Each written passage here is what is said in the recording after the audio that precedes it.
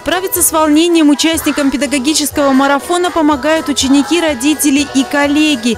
Это общее дело, общая работа. Конкурсанты признаются, что без их поддержки на сцену бы не вышли. Только вместе, плечо к плечу. Наш класс – спортивный класс, необычный, мальчишки-хоккеисты. И они с гордостью представляли сегодня нашу страну, не побоюсь этого слова, Россию, и поддерживали атлетов из России. И, как видите, все в восторге. Большая страна, большие возможности. По таким девизам проходил конкурс. Каждый участник представил свою концепцию. Галина Кириченко, классный руководитель 3 Г класса Одинцовской лингвистической гимназии, считает, что самое главное – быть человеком. Это ее педагогическая кредо. Конкурс э, длился полгода, поэтому все этапы надо было выдержать, выстоять и преодолеть. Но у меня уже какое-то облегчение наступило. И хочу сказать большое спасибо своему любимому третьему Г-классу, родителям, администрации гимназии, всем тем, кто меня поддерживал и помогал. Конечно, э, семья моя, которая тоже волновалась и всегда была в курсе всех дел.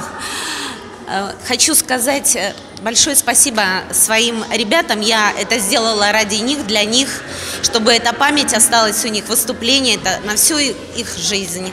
Участие в конкурсах профессионального мастерства для учителей – это возможность не только поделиться своими педагогическими наработками, но и еще больше сплотить ученическую семью. Многому можно поучиться у коллег. Во-вторых, это очень увлекательно, интересно. И это бодрит, воодушевляет, вдохновляет. Подобные конкурсы дают возможность раскрыть себя педагогу совсем с другой стороны, потому что этот конкурс «Классный-классно» несколько отличается от конкурса «Педагог года». Это творческий, это работа с родителями, это работа с детьми в, в плане воспитания. В, в этом конкурсе классный руководитель может увидеть совсем с другой стороны своих учеников, да и себя тоже.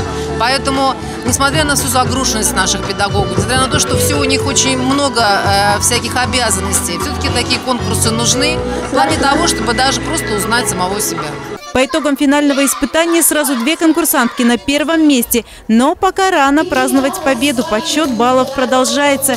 Имя лидера педагогического марафона будет названо в конце февраля. А пока участники в ожидании результата. Мария Шматкова, Артем Ломоносов, телекомпания «Одинцова».